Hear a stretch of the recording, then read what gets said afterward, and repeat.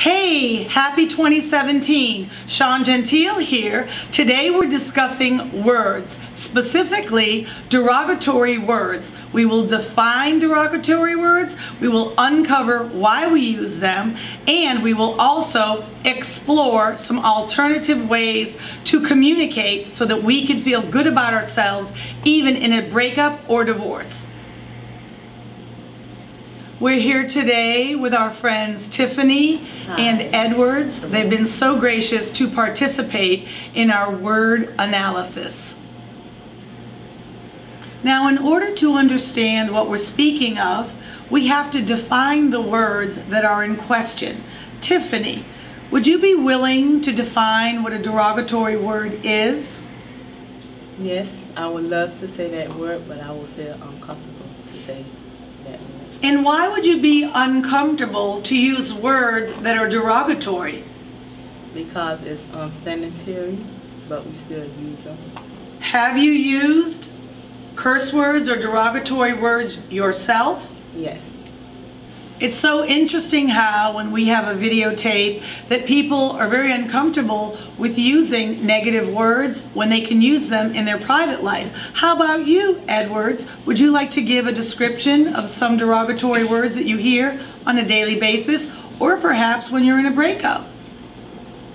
Hi, Sean. Yes, I, um, I'm not uncomfortable with it. Um, these things are starting to be uh, everyday use is mainly used to um, demeanor uh, our partners as well as our friends and coworkers.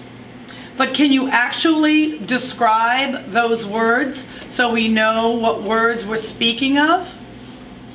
Um, yes, a lot of these words are starting to come out in our songs on, on everyday uses, but it's basically being used to uh, demeanor other people. It's like nigger, girl, um, hoe, slut, some of those same words is basically saying hi, and other times the same words are being used, like uh, my nigga are being just saying hello.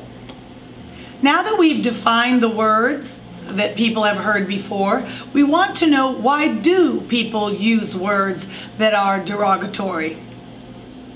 We use them when we're angry, when we fight, instead of thinking before we use the word and be calm. And what about you, Edwards? Why do you think people use derogatory words? I was thinking basically it's part of being ignorance and it's made to hurt um, whoever is being um, voted, um, I guess, focused toward that individual. Could you elaborate on that depending on who you're talking to? Elaborate on that, please. Well, it could be a male or female, um, or a spouse, or family member, whoever you're angry at that's been injected toward that person. Tell me, do you think people want to use those words or is it something that they do when they're simply not thinking? Um, no, it's starting to be a, every in our everyday curriculum. Even at um, school, the teachers are starting to being taught um, slang words to um, to cope with the new um, the new kids of the future. So you may think that our standards are simply being lowered? Yes, our standards are being lowered. So as Edwards pointed out, he mentioned that our society perhaps may be lowering its standards. So you may ask, is using negative language bad at all? Or can we accept it as the norm? Tiffany? No, Sean, I think we should not use a bad word because we pass it down to our kids and plus we going into business doing that and we don't want business doing that to us when we come here and talk to them about business and personalized stuff. I heard Tiffany say she did not want our language to be at a lower standard. Now, Edwards, what is your opinion? Should we accept bad language or derogatory language as the norm? Well, Sean, that's a good question. Um, we do have what we call freedom of speech, but we have a culture barrier that is constantly changing. Um, we have to uh, understand what is acceptable at the right time and at the right place. And if we cross over those gaps, it would be a big um, change in the way we're doing things. But at the same time, we're making things that is unacceptable is being said at the wrong time. My personal opinion is I do enjoy freedom of speech, but there's something significant about using derogatory language. In a sense, it tears away at someone's dignity in certain situations. On the other side of the coin, I could see where if you haven't reached a person and you want to show them that you're overly angry, it may have a benefit. But in most circumstances, I think it just shows an extreme lack of human development to keep using a language and it's no end in sight. So it's just, you have to weigh it in certain circumstances. I like to present myself professionally in my business and I always like to feel comfortable with what's going on in society. So I'm wondering why do people after many, many, many years they're still using derogatory language. It's almost as if there's a, a need within them has been unmet.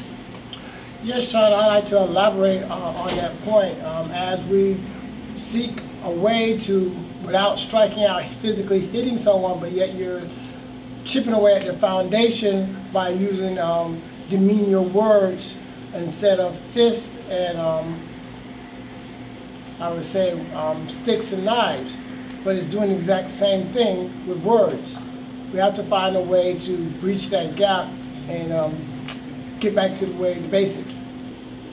Yes, I love both of them comments, and we like to brief on the gaps of what we're doing in this country about kids and their life of what's going on in this world.